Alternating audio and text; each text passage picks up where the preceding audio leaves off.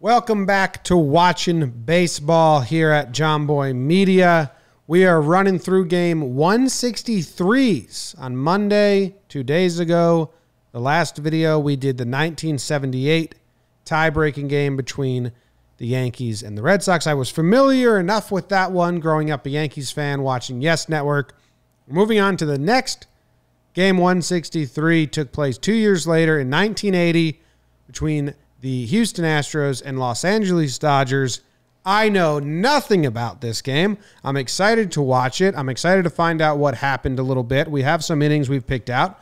A note right away this is watching baseball. We watch, we learn, we react. We are not coming with any knowledge. We are the, the point of the show is not to give you knowledge, it's for us to react.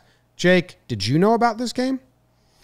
I did not. And again, our quick Google search to not sound like total dingbats shows that actually the three game set before this is kind of the storyline because the uh, the Dodgers were down three games to Houston. They welcomed them to town with Nolan Ryan.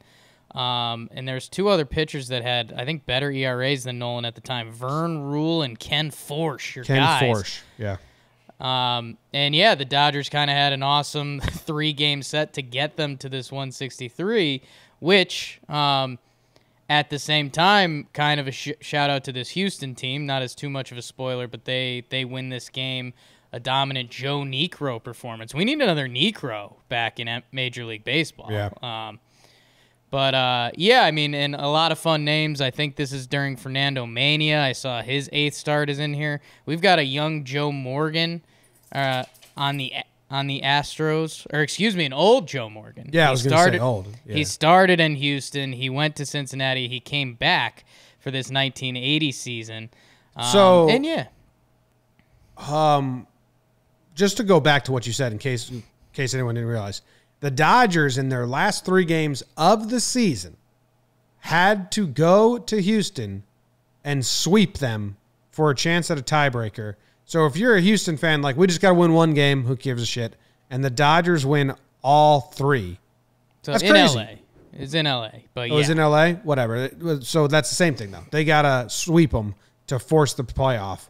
So if you're a dodgers fan right now you're like hey we just fucking did it. We got all the momentum in the world and uh, as you see that momentum gets squandered pretty quickly we're gonna go straight to game one or, for, or the first inning because that's kind of where some action is and this is brought to you by the shop at jomboymedia.com. Shop.jomboymedia.com. You can get yourself some hats, some shirts, some mugs, whatever you'd like to support us. We actually just put out some new um, sequin shirts. Zach, put the sequin shirt right here. And now I'm going to go like this. And now it's a new color. Same shirt, different color. Sa- Different new color. And uh, do the uh, the Minnesota Twins retro sequin shirts because I think those are awesome. I'm going to buy myself one. Anyway, so let's get into it. The Dodgers won the season series 10 games to 8. And in the last six meetings between these two teams in Los Angeles, the Dodgers won all six, including three this weekend. Wow. Before the leagues split into divisions, there were four playoffs. It's Look like Al graphic, Michaels. It's interesting to note the Mm-hmm. Dodgers were involved in all of them, losing to the Cardinals in 1946. Then, of course, the Bobby Thomson home run in the 51 playoff as the Dodgers First lost to sudden the Giants. death in NL history. in 59 and lost in three to San Francisco in 1962. And this ABC Sports exclusive is being brought to you by Chevrolet. Shout out. And your Chevy dealer Wow, with hat. Chevette, Monza citation of the new Monte Carlo. Chevy's up ahead. Who had okay. violated back to Dodger Stadium. There he is. Al Michaels. Mm. And when you think about it, you go back to the 1st of March. The Astros start spring training in Cocoa, Florida. The Dodgers start in Vero Beach, Florida. I don't want the season whole backstory. pretty cool that he they let him broadcast the game in center field. Bob Uecker. Bob, Today. Today.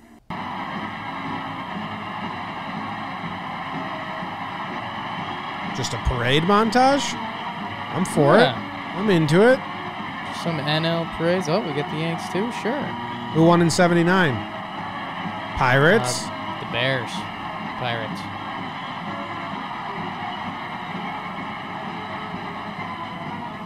Baseball fever. Catch it. It's It's sweeping the country. Weather-wise, it is a day much like yesterday. Temperatures in the 70s. It's quite smoggy in Los Angeles. Ooh, the smog, Jake. Though, Shots fired. and the crowd settling in as the Dodgers will be taking center field. Okay. I wanted that little build up, but I don't want all of this. How about Toni Tennille National Angeles today. Sounded great from the snippets I heard. from Captain and Tennille, Jim?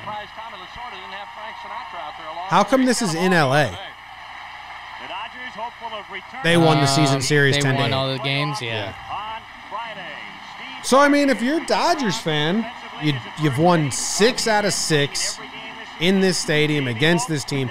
You just won three in a row. You got the home field advantage. Everything's gonna go smoothly, and you just go into the playoffs. Dusty Baker with Rick Yeah, and uh, on on the other side of it, it is the. I think Houston, you have the like, damn, we fucked up, but also, I mean, we're one baseball game away from none of that mattering. I wonder if they saved Niekro for this potential game. But I mean, they had Nolan Ryan and all those other guys too. So Yeah. Saw quite a bit of. Uh, look at the Goals. numbers they offer you. Well, he's basically a sinker Means nothing to me. ball type pitcher, Al. If I had to talk about a number one pitch for All Dan throw this one down, Joe. have to be a sinker. He's lost his last three decisions, had one no decision over his last four starts. But as you alluded And the to, Dodgers were in well. three elimination He's games 0-2 against Houston in a row, so I'm sure they're throwing their best pitchers then. Sutton was on the mound, Fernando. Valenzuela. As you look at the Astros batting order, Puhl, Cabell, Morgan, Cruz, Howe, Art Howe, former manager. Niekro. The same lineup as manager Bill Virdon put on the field yesterday. Like those Astros uniforms. Goltz' second start against Houston, a 7-4 Really loss. good for the time so here we period. go. One game for the title. Terry Puhl to lead things off. The pitch and a strike. 0 1. It's a strike, Jake, but Harvey back at Joe didn't even catch it. Umpired there yesterday. It's moving. Balls- sinker balls dancing today. is at second. Jerry Bad sign of things. Low. One and one.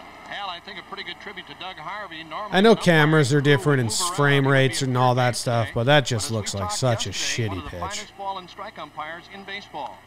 Bouncing ball to the right side. Davey Lopes has to take a wicked hot. Can't find it. There you go.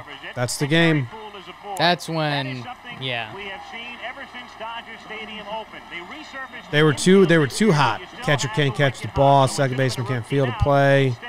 Instead. Yeah, All see, I'm momen- over the catcher. I think that's the catcher hyping up the pitcher. Like, dude, your stuff is moving today. Yeah. I can barely squeeze it. When your That'd second baseman by him. boots it, first play of the game, I mean, there goes the crowd. I mean, that guy's wearing one of those fake glasses and nose things, and by that guy I mean the player that you're going to get upset I didn't call him by his name. I think it's Davey Lopes. Uh, Yeah, yeah, also, Davey Lopes. They just said it. Man- Enos man Cabell. Enos Cabell had a terrible day yesterday as Goltz drives Puhl back. Cabell Been there. struck out three times and made the error on Garvey as Goltz means business this time, but Puhl gets back. He made the Need to keep on him at bay, Garvey's Jake. Prior to the home run by Oh, I mean, we're in prime hit and run era. Yeah, yeah. out and nothing Two pickoffs and a pitch out. One to go to Dodgers playing scared from the jump. That error shook him. Scratches its way to run. First pitch, pitch out. They love to run. They have six players with 20 or more steals this season, including This guy, he looks so un- uninterested in pitching in this game right now. The thinking is, as far as catcher Joe Not Ferguson good energy. Pitching out with Puhl on, looking for something moving right away. Goltz backing off the rubber. Jeez. There goes Puhl, and the 1-0 pitch is fouled away. Hit and run on. Terry right away, and Enos fouls Of course. Automatic. Al, you looked at that Automatic. from Goltz that time on Cabell. They have Hatcher Well, he slow runs like a robot. Cabell. And as I said at the top of the telecast, Goltz will basically try to stay in tight on right-handed batters. He'll pitch on your fists mostly throughout the course of a ball game. He's got a good slider and a curveball too, but as I said, if he has to get you out, he gets in a tough situation, he'll go to a good sinking fastball. I don't know. I don't know if it needs to be said, to but count. this is Al Michaels and Bob Uecker calling a game Puhl 40 years ago. gets to fly to Philadelphia. Yeah. The National League I like- I like what they're bringing to the table so far. night. We'll have it But we That's- like we like them 8 throughout. That's our life plus another third of our life. You've lost the work game. For Philadelphia, so the Phillies can Yeah. relax a bit today. If you can't pitch without worrying about this dude, you've lost. If the if the first base runner was gonna ruin your day this much, The 1-1 pitch is Another pitch out? Dribbled by Ferguson, but Puhl wasn't going. Oh, this is two and one. ugly, man. this is tough. The This kids is aren't gonna like this one. talking about pitch What's that? The kids aren't gonna like this one. Goltz has got This is this. I oh, mean, this is as mentally beat as I've seen a team in the count. that was went in with a with pitcher so much Goltz, who you have gusto. confidence in that he can come back and throw a strike for you. Like scared of. Holy smokes! As Puhl goes back in standing. Doesn't want to throw home. I mean, scared of giving up one run. Minnesota, still lives there. And again, it's close. So Goltz has I mean, over we've hit- times. A dangerous territory. A game with such important If they do another, I mean, they can't do another pick goes pitch out because they did two already. Oh, they does- could. As did the game yesterday. I'm not If they- doubting them at this If point. If they do another pick off, in excess of three hours. You know, it goes both ways too, Al. You're I don't talking know. about the pitcher making I won't be throws to first surprised. base. It also holds true for a Uecker definitely turned to Michaels and The mouth like, what the? is lined into right center field for a base hit. Puhl round second goes to third as Monday's throw comes into Thomas. yeah, So the Astros The game's- the game was lost after the fourth and third pickoff. And nobody out, and Joe Morgan coming up. Not a bad pitch that time by Goltz. Cabell just went down and got it and punched it into right center field. My point being a moment ago. I mean, if his body language was bad with a man on and no out, what's this pitcher's body language going to be now? but Cabell went right down after it. I think he's calling. drilled it into He's calling for the reliever. They're saying get at Rick times, Sutcliffe loose. Once in a while, when you go down to put down a sign, you second guess yourself every once in a while. That's as you were talking a moment ago about the course of a ball game, taking maybe a little extra long when you're talking about a game of this Dave magnitude anyway. Goltz. Dodgers Joe used six pitchers in this game. and third. The Dodger infield at double Well, this guy wasn't long for it, that's for sure. He had the longest performance of that day. Wanna know, oh, the Astros He does, Jim. I got bad news for you. He does this for three innings. No production from Morgan, Oh shit! Cruz, and Cedeno. They're three, four, and five hitters. They're vital.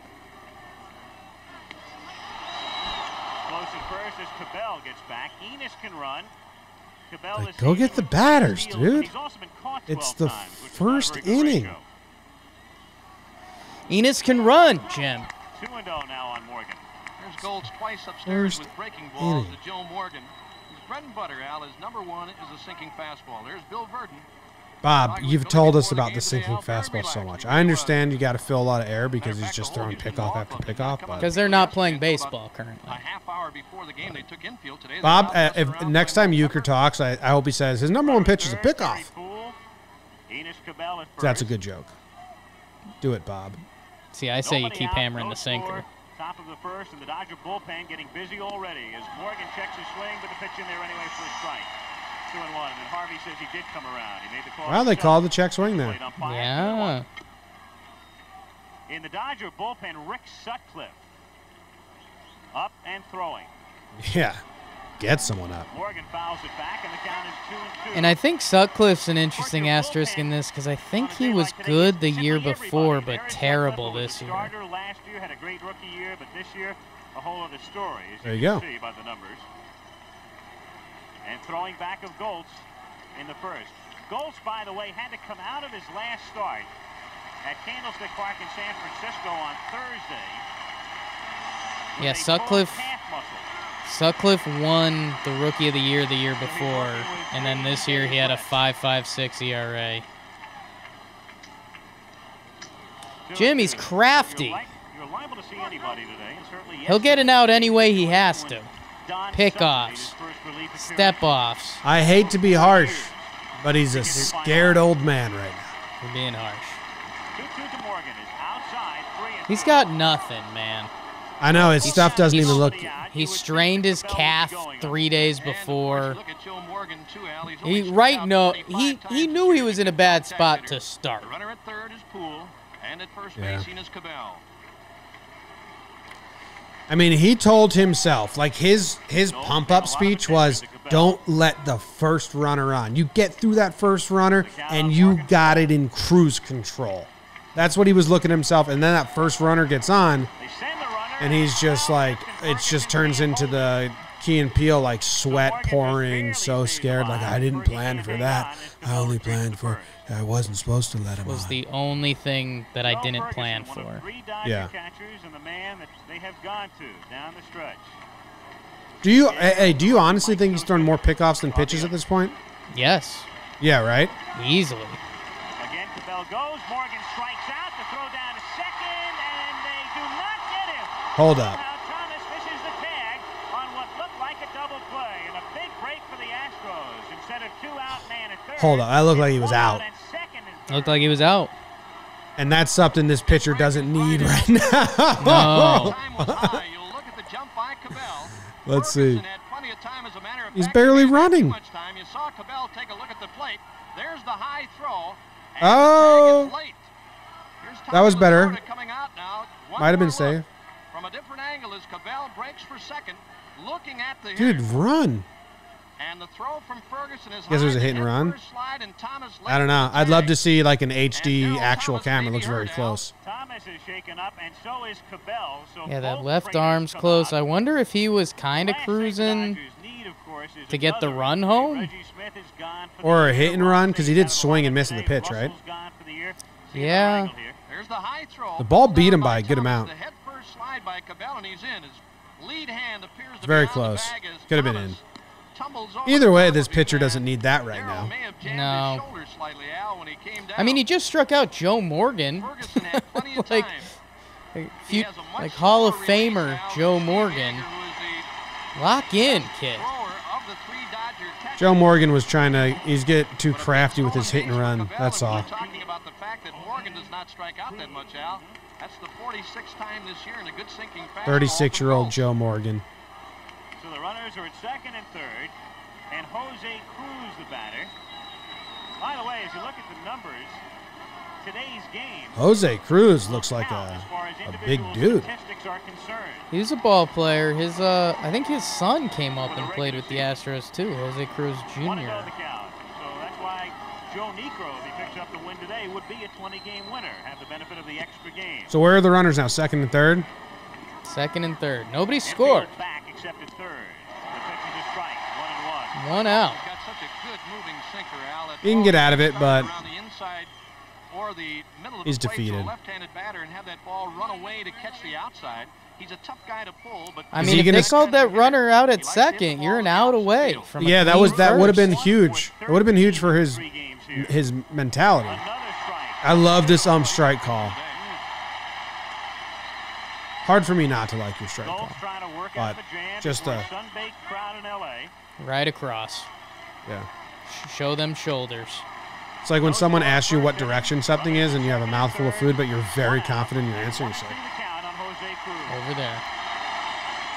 Bouncing ball to Hatcher. The runner coming home. The throw to Ferguson. They do not get it. ho, ho, ho, ho, ho. The out.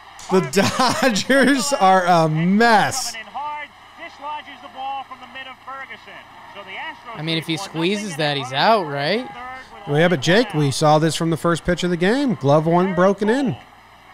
He's not catching things today. I think they said that they've been going with him at catcher recently before. I think Al Well, Michaels said that. So we've yesterday, jumping out on top. Here it is again.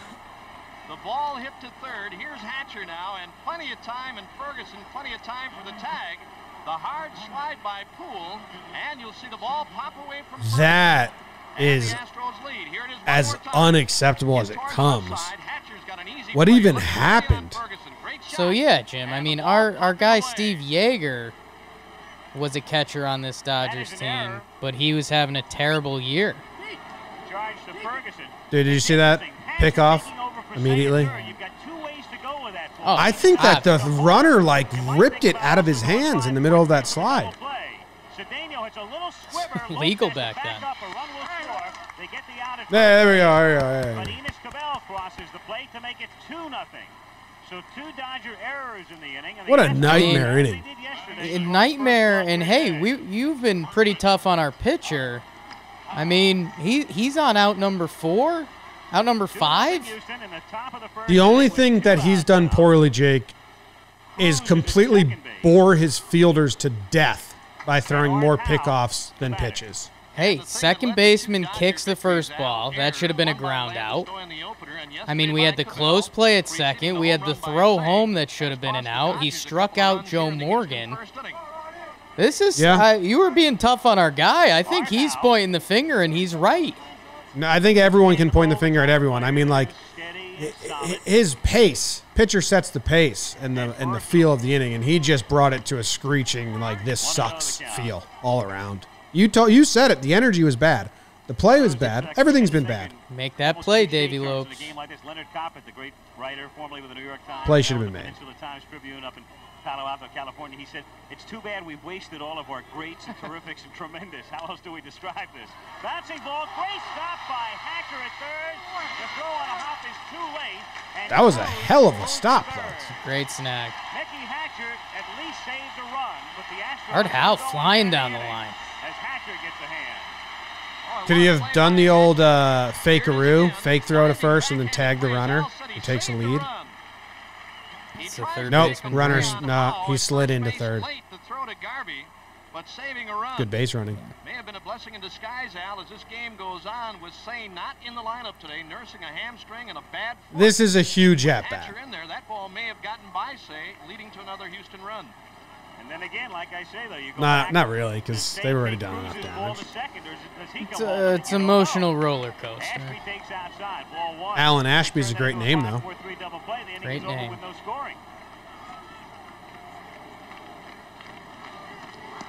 I feel like that's a character from Here's the guy that's gonna Californication or something like that. Some show I About watched. Alan Ashby at the top of the telecast handling Joe Niekro, a guy who is so very tough in the situations where you have runners at first, throw to first base by Goltz in a bit late. still picking people off with bases loaded. What's the point of that? I know the kind of pressure it is. You, you, you gotta Um, stay with the bread and butter pitch, and it's the knuckleball for Niekro. Getting it out. Doing anything to get it out. Hit in the air to shallow left field. Dusty Baker shades down, has it for the out. But the Astros doing some damage. Lou Ashby pick is the name, runs, California two pitcher. hits to it, two Lou Ashby from. California And for a pitcher. half, All right, so Astros two, and the funny thing is. Niekro comes out and gets a one, two, three inning, and uh, our guy Goltz has to come right back out. But we're gonna skip forward. I actually we want to see a little bit of Niekro, who throws a complete game, zero earned runs. Might be hard to find here, Jake. Might have to just cut it. I want to go to the seventh inning because he seems to just dominate those batters. Team in New York in 73. Yeah, it is bad. It's, there's no playing on the baseball game itself. Very cool. He's throwing it. I don't know where this is. I don't know who's up, but happened really in the bleachers. The fans have to police themselves. He's got a weed Tough to not like Joe Niekro's look. yeah. Fouled away in the count two and two. How old is Joe Niekro here? You can put all the security people out there you want. In 1980, Joe self-enforcement Niekro is anything else. 35 years old. Okay. we got baseball fans, Al, and obviously Second in the Cy Young the season before, fourth in the Cy Young this year. as we said before. It sounds like something's happening in the crowd. There's been riots. There's been throwing. Something going on. Knuckler in there. Strike three. So Ferguson becomes the third Whew. strikeout victim. That butterfly dance. Mickey Hatcher. This program, an exclusive presentation. So that was Ferguson who he seconds to allow struck out. organizations To identify themselves. Yep. So what the hell inning is this? What the hell's going on out there? Base hit in the third inning. This is the fourth inning? Two down now. Monday at first base. No way. It can't be. We're like we're almost over the unless the I watched Niekro, this isn't the full game on Every once in a YouTube where the last couple innings are like put a little two minutes long each. Makes it that much tougher on Ashby. There was another one that really Does that make any sense to you? inside. Ashby hung on to it. I don't know. It's tough, tough to say. Two and. If there's anything that Ashby I'm gonna skip. I mean, ahead. yeah, I guess it, it could, right? Because, I mean, Houston puts up all seven runs in the first four innings. Los Angeles. Um, and we saw how slow our guy was working. So yeah, maybe it does At make Dodger sense. Stadium in Los Angeles. Houston leading the Dodgers. So that's the middle of the eighth inning. Okay, that's what I want to see. I want to see. I got you some time. I want to see bottom eight because it, it seems like Niekro is just mowing them down at this point. The Dodgers don't care. We'll see. The crowd, by their response, Score at this point is seven to one Dodgers. Dodgers. I mean, they just pounced right away. They made the Astros, or no, no, no. The Astros made the Dodgers depressed. Dusty Baker with looks like two hats. The helmet Looks- Dodger crowd again looks like one of those ice cream helmets you eat out of, so Prior to the small on his head. Friday night, Al, quite a tribute to this They got the beach balls going. Down by three, three games before they ever took the field here. The fans were standing. for a Crowd believes. Prior to the start of the game, I think there's like Dodger riots players going on in the crowd or something. from the scene here thought they had won it. How many pitches did Niekro throw? So here we go, the bottom of the Don't eighth matter. inning. Pitch to Baker. Throw all day. strike, It's a nice fastball. I mean, how many different pitches? Couldn't tell you. Dodgers with five hits today, all singles. Is that just a fastball? Is that a knuckleball? I think that's Corcoran has it knuckleball. Check swing. It looks like a speedy one. A ball, one and one. Al, you know, going back to the theory about Niekro starting hitters off with a fastball or a slider, seventh, eighth, and ninth inning, Dodgers down seven to one, have to take a pitch. More often than not, he's laying them right in there, getting ahead, and then coming with the knuckleball. Ooh. And down goes Dusty. It was One, strike two, two. three. Foul That looked like Niekro hurt himself on that. He was shaking his hand three here. afterwards. So that's six now for Niekro. I think that's uh, strikeouts. He's retired that's like flexing on him. Like, ooh. Those those knuckle those knuckleball nails, man. Loading the bases, but Steve Thomas Garvey popped up, struck Now out, have flied out. Changes now for Houston. So Niekro's sat down Art five in a row at this playing point third and struck out six. on to play at first. And the Astros shadows have come to play. Cabell coming out of the game. Howe can't handle this one, but Reynolds does. Nice short. It's a nice play. throw. So two down. Craig Reynolds Couple has had a camera angles day. too. Astros shortstop. Three He's for got a flap plate. off his. A good play by Reynolds. That Hat? high hopper hit over Glasses Howell's head. flap. Reynolds way back in the hole. That's a nice little and scoop. Guns a throw to get That's a nice play. First for the second out. Well, I just got through Still not a good about hit. The Dodgers trailing No. seven to one, maybe taking a pitch from Niekro. Garvey hit the first one, a fastball. Rick Monday. Rick Monday, one for two plus a walk. So the Astros four outs. away. Look at that. I love the way Niekro's just chomping and looking. 0 and 1. Ooh, Monday. Two down, bases empty, bottom of the eighth. Yeah, that full the full lean over The by the pitcher. That's a strong Two in the move. first, two in the Yeah. third as you look at Ferguson It's like contact. what you do when you're playing Three against your kids and you're trying It's not to an be intimidation. The uh, It looks like exhaust. in the fourth inning. And it was Monday. It looks like drove it in boredom to me. with a single to Like center. forearms on the knees. Niekro strike one offering. Low and inside. One Maybe and that's how he saved himself. I don't know. I like it either way. Oh, you see the guy in the dugout like holding a knuckleball? Oh, so that's how. One one pitch. It's fouled away, and the count is one and two. If Houston goes on to meet Philadelphia, in the 12 games between those two teams this season, the Phillies won nine. Of course, the Phillies, veterans of the playoffs, so they haven't won. They were there in 76, 77, and 78. Houston, of course, has never been there. It is interesting. It's not intimidating. No. Popped up. Ashby coming back. And with room. And it's three up and three down. And eventually Easy peasy lemon squeezy, Jake. has set down eight in Let's watch the last out. The last Dodger hit was a single by. Never letting it get out of hand. So if you guys are curious, because we start, we saw the first two runs in the fourth inning. The the Astros put up two more with uh, when Rick uh, Sutcliffe was on the McConaughey keeps it mound, Going, got Pete Guerrero out on deck. or or they put up two more against Dave Gol- Goltz. Art Howe hit a home run, over to Percani. In there. One and one the count.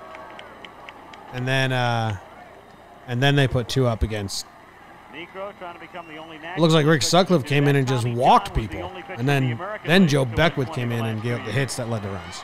The 1-1 pitch. A bouncing ball to the right side. Bergman has it. Steps on first, and the Astros have won the National League West. Bill Virdon finally, That after four old. days, a smile creasing his face. And the celebration, ironically enough, on the road in the Dodger Stadium infield as the Houston I, at first, I was have won it. thinking kind of they were going to come in lackluster celebration because they kind of controlled the game the whole time. But hey, those last four days must have been daunting as all hell. Stressful as shit. Like they could have done it a lot. They had three chances to do this. Waited till their backs were against the wall. So many frustrating years, and here they come down the runway. You just saw Art Howe go down there, the big man today. A home run, two singles, So much hair, man. Batted. The stars of the game for the Astros, Howe, and of course Joe Niekro. Crazy how Turns in a fluffy and masterful much hair there is. Any interviews? Do we care? So Oh, yeah, yeah, well, it's a Bob Astros, Uecker who interview. will do some Mm. So I I do kind of. like the winning team have with interest. on the other side. The Dodgers, it's a side of the field. You can choose to come back. The Astros being swarmed on as they come through the tunnel area here. We're trying to get Joe Niekro, of course, who did such an outstanding job today, and Art Howe, the unassuming guy with the four big RBIs today. Bedlam here, as you can well understand, in the Houston clubhouse, as Al told you, 19 years. It's been a long time since way back in 1962, and the first for the Houston Astros. As we've told you throughout the series, a tough, tough battle, and they have finally hung on the winner. Mel Wright, come on up here. Let me get Mel Wright up here. I'll get Mel Wright up here to start things out. Mel, no, uh, no talking about the big win today, a big victory, but an outstanding performance by Joe Niekro. Yes, I, he did an outstanding job. He, he was keyed up, but we kept him un, keyed down just enough that he did a heck of a job. Mel, I want to ask you, uh, Joe talked about this earlier before the game today, that later in the ball game he goes to a fastball and slider to start hitters off and then comes back with a knuckleball, and evidently that's been working well for him. Well, I, Joe has a tendency sometimes to overthrow his, his pitches, his fastball and stuff. And once he wears the edge off and gets a little bit, well, I say keyed down and a little bit tired, and he can throw all of it pretty well, and that's what he's been trying to do. Mel, you've been around here a long time. I know you're very, very satisfied. Oh, I'm as happy as I can be. This is what we fought for. All right, we'll try to get Joe Niekro. I liked Keyed, it. a little keyed. He's too keyed up. Gotta get him keyed down. Keyed up, gotta get keyed down. Oh, Yeah. okay. Yeah, it adds up. It all makes sense. Sorry about it, Dodgers, but yeah, yeah, terrible first inning and it was bad. Game 163 can't have that first inning. Can't do it. Can't do it. So uh, what what what what happens here? They I think we have it. The Astros go on to lose to the Phillies in the NLCS, but they take them to uh, five games, three to two. Brutal, man. Dude, this Houston team. Dude, are you looking at this NLCS? for the Houston versus Phillies. Philly won game one, three to one. Sure. 10 inning game, Houston wins. 11 inning game, Houston wins 1 nothing. 10 inning game, Philly wins 5 to 3. Game 5, Philly wins 8 to 7 in 10. That's a hell of a series. That's a not so series. Get me in there. Yeah, maybe when fu- after we do after we do 163s, maybe we'll just choose like DSs, CSs, and watch like like we can watch the extra innings of every one of those games. The final four games of a five game set all went extras. And game one was kind of a late comeback by the Phillies, a sixth and seventh inning runs. How about that? That's crazy. Did the Phillies go on to, to win that year? I forget. Baseball. Uh, the Phillies look like they won the World Series over the Kansas City Royals. So yes, Michael Jack Schmidt. Good job. Thank you guys for watching. We'll be back in a couple days with the next game 160